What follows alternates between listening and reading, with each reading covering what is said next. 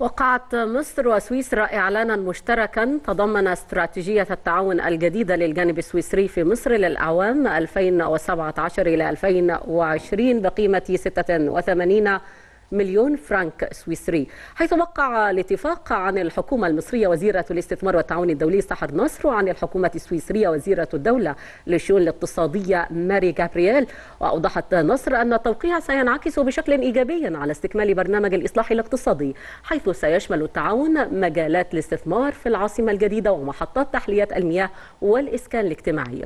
من جانبها أكدت جابرييل أن أولويات سويسرا هي خلق الوظائف في الاقتصاد المصري.